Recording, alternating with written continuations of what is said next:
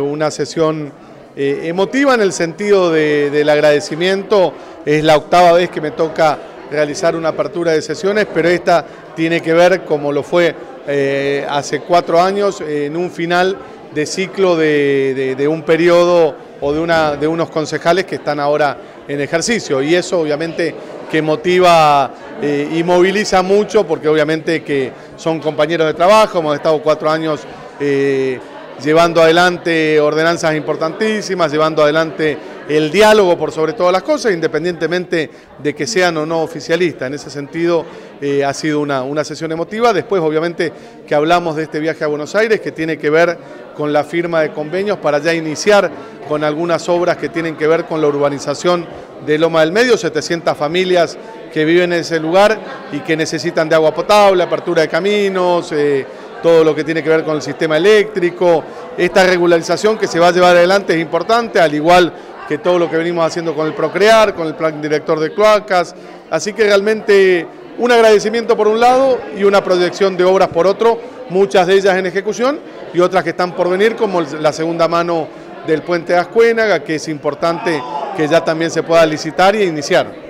Intendente, un año por delante importante en cuanto a obras tanto provinciales como del ámbito nacional también. Un gran acompañamiento del Gobierno Nacional ha recibido en este último tiempo. Sí, totalmente. Tanto el Gobierno Nacional como el provincial han estado siempre presentes y el nivel de obra pública que ha tenido el Bolsón en estos dos últimos años no lo ha tenido jamás en la historia, más allá de que en la primera gestión hicimos más de 300 obras, las obras de infraestructura que se han conseguido, que ya hemos firmado, la ciudad judicial que también hacíamos referencia, ahora avanzar con el, asfaltado hacia el barrio de Rayanes, continuidad de Avenida San Martín, adoquinado en el barrio Usina y otras tantas obras como las que venimos inaugurando prácticamente dos obras por semana y lo vamos a seguir haciendo hasta que me tenga que tomar la licencia por las elecciones, es realmente importante, está dando sus frutos, una gestión que planifica futuro, que proyecta el Bolsón a 20 años y eso es lo importante, que la calidad de la vida, calidad de vida de la gente cada día es mejor,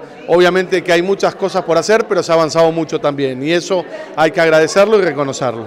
Intendente, lo llevo de vuelta al tema Loma del Medio, porque es, a mi entender, uno de los anuncios más importantes, bueno, más de 700 familias y esto, acceso al agua, acceso a la electricidad. ¿Cuántas, cuántas problemáticas venimos escuchando a diario desde hace años?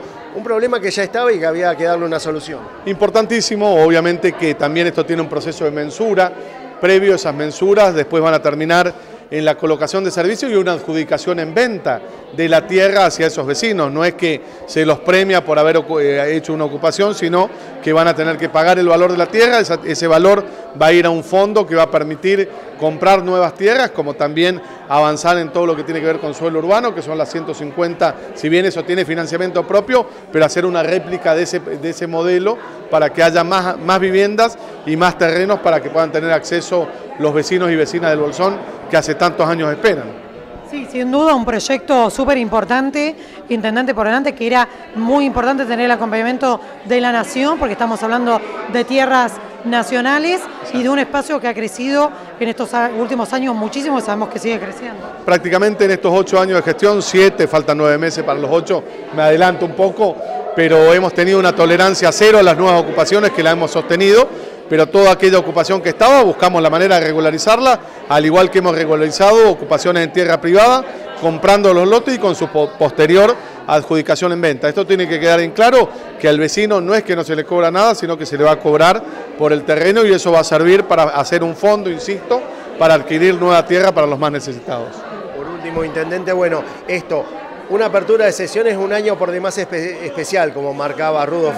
40 años del regreso de la democracia. Sí, importantísimo. La democracia es lo más importante que tenemos, es lo que no se negocia, es lo que siempre se debe sostener y es el paraguas para poder lograr todas estas cosas que hemos logrado y avanzar con todo lo que hemos avanzado.